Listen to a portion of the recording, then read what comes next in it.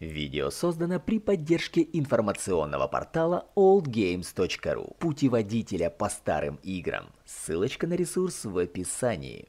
Начало 2020 года, помимо всяких ужасов в лице пандемии, очередного обвала рубля и бог еще знает чего, принесло нам, старым фанатам Принца Персии, надежду. То тут, то там начали всплывать различные слухи, мол, серия оживает, Ubisoft начала работу над новым проектом. И что я могу вам сказать? Да, Принц и правда вернулся. Однако, совершенно не в том виде, в котором мы ждали, ведь словно пытаясь подражать Valve, юбики анонсировали The Dagger of Time, очередную часть принца, в VR. М-да. Впрочем, сегодня речь пойдет не об этом. Сегодня мы хотим погрузиться в древнейшую древность, почти такую же древнюю, как я сам. Речь пойдет о самой первой игре серии 1989 года с простым и незамысловатым, безо всяких подзаголовков названием Prince of Persia. Пержа, пержа!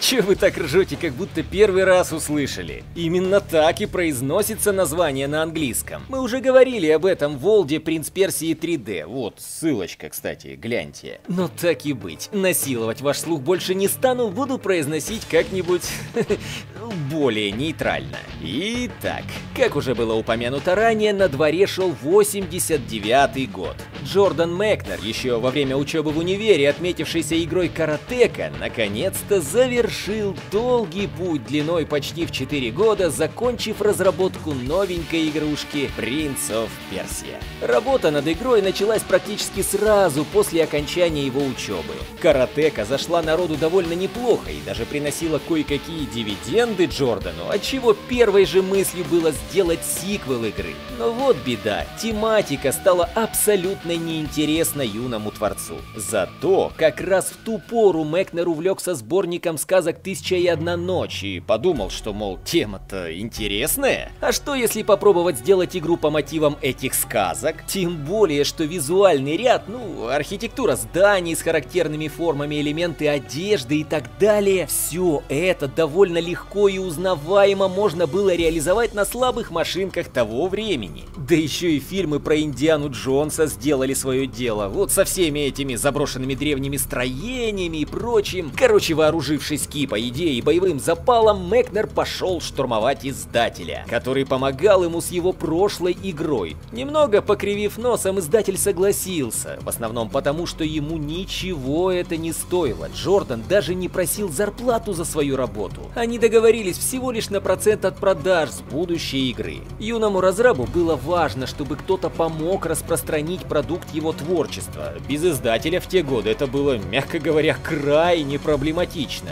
И вот, заручившись поддержкой, он приступил к работе. И сразу стоит сказать, что делать очередной платформер с примитивной физикой желания не было никакого. Хотелось замутить что-нибудь максимально, насколько это позволяла игровая платформа реалистичная. Для этого Мэкнер купил дорогущую камеру, ну, как купил. Финансы вовсю пели ему свои романсы, и Джордан пошел на хитрость. Максимально оперативно провел все необходимые съемки и вернул камеру в магазин, забрав денежки обратно. Главным героем во всем этом съемочном деле выступил его брательник Дэвид. Он бегал, прыгал, кувыркался, в общем, выполнял все его команды. Как вспоминал сам Мэкнер, братан-то был, ну, такой себе акробат, но он работал бесплатно, а это было очень важно на тех порах, так что выбирать не приходилось. Не забывайте, на дворе далекие 80-е, никаких там крутых motion capture и прочих приблуд не существовало. Это сейчас вешаешь на актера датчики и снимаешь все его движения вплоть до мельчайшей мимики, а тогда, тогда было сложнее. Будущий батя великой серии взял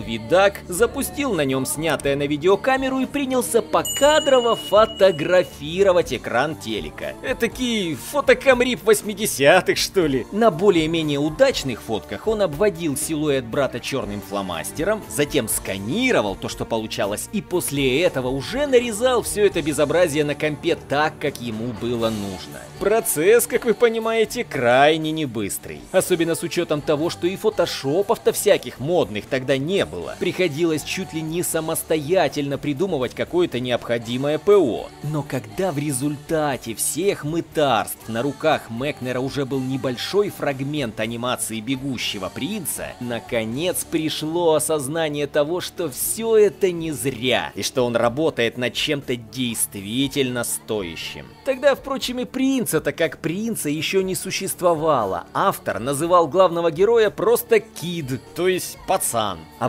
выстраивая в голове четкий концепт того, как должны выглядеть игровые уровни, Мекнер изрисовал не одну тетрадку всевозможными геймплейными зарисовками, элементами самих уровней и прочим. Годы шли, на дворе был уже 88-й, и Джордан торопился как мог, так как Apple 2, под которой писалась игра, постепенно сходил на нет. Еще год-другой и продавать игру будет тупо некому, никто не сможет в нее поиграть. Примерно в то же самое время он осознал, что хоть игра и получается довольно крутой в технологическом плане, она скучна. Скучна по одной простой причине, что кроме принца в ней никого нет. Лишь куча уровней с огромным количеством ловушек. Что-то нужно было решать. Делать кальки с этого пацана и создавать на их основе врагов, ну, ой, как не хотелось творцу. Хотя и без клона принца, впрочем, не обошлось, но об этом позже. Плюс опять-таки не хотелось делать этот аспект игры как-то халатно. Тем более, что многие другие элементы были так тщательно продуманы. Но светлая идея, как это часто и бывает, пришла извне. Как-то просматривая старый фильм про Робина Гуда 1938 года, Мэкнер заприметил там сцену дуэли на мечах. И вооружившись видиком и фотиком, он приступил к тому, что уже хорошо у него получалось. По кадровой оцифровке нужного ему фрагмента. И вот так вот, собственно, в игре появились довольно интересные, продуманные, хоть и сложные поединки на мечах.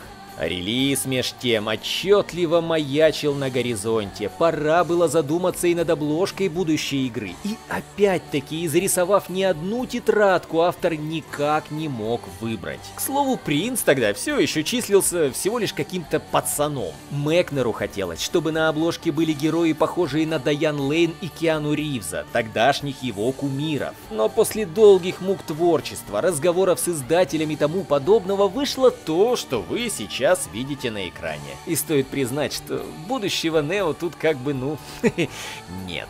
Игра, как и планировал Джордан, релизнулась на Apple 2. И, увы, но ожидаемо продажи были не очень, так как данная модель уже была при смерти. Но хвала некоторым сотрудникам Брёдербунд, код был переписан и игра вышла на PC. Скорее всего, многие из вас играли именно в эту версию. Впрочем, перенести-то перенесли, вот только продажи все равно были так себе. Однако в процессе оказалось, что игра хорошо портируется на разные платформы, и вот тут Тут-то и пришел, наконец, коммерческий успех, в основном от зарубежных продаж и версий, заточенных под всевозможные игровые приставки. Итак, игра вышла, о чем же она была? Ну, как несложно догадаться, действие игры происходит в Персии. До 1935 года так называли нынешний Иран. По сюжету великий султан уходит на войну, а злобный и мерзкий визиришка Джафар пытается захватить его трон. Визирь, кстати, если кто не смотрел Аладдина, ну и вообще не в курсе, это такой чиновник высшего ранга, особо приближенная к правителю. Джафар взял в плен принцессу и дал один час на раздумье свадьба или смерть. Так что у ГГ есть час, чтобы спасти свою возлюбленную. Действие игры происходит в режиме реального времени. Пацан, ну то есть принц, может гибнуть неограниченное количество раз и всегда будет оказываться в начале уровня, на котором вы находитесь. А вот если не уложиться в указанное время, вот тогда усё, гамовер. Как видите, из всех заигрываний со временем здесь только то, что оно у вас ограничено. До путешествий принца во времени нам придется придется немножечко подождать. Устройство уровней в игре довольно непростое. Если помните, мы уже говорили, что Мэкнер скрупулезно подходил к их разработке. Локации изобилуют ловушками и потайными ходами. Чтобы пробраться дальше, принцу придется использовать все свои акробатические умения, прыгая по платформам, избегая ловушек, иногда решая головоломки. Временами придется вынуть меч из ножен, который, к слову, вы сначала должны найти, и скрестить его с мечами стражников. Приноровиться к механике, то бои становятся не слишком уж сложными, хотя поначалу может показаться иначе. Кроме стражи визиря, вам еще предстоит подраться со скелетами, которые, по сути, ну, те же самые обычные стражники, только бессмертные. И с близнецом принца, который появляется несколько раз за игру. И тут такая фишка. Каждый ваш удар по нему отнимает у вас одно очко здоровья, поэтому если ваш двойник, или как его еще называют тень, будет убит, то и вы того. Как только оба принца вытащат мечи, следует тут же бежать к двойнику навстречу, дабы слиться с ним в одно единое тело. Да. Э, среди врагов будет и сам визирь, который, ну тот же самый стражник, только половчее да поживучее.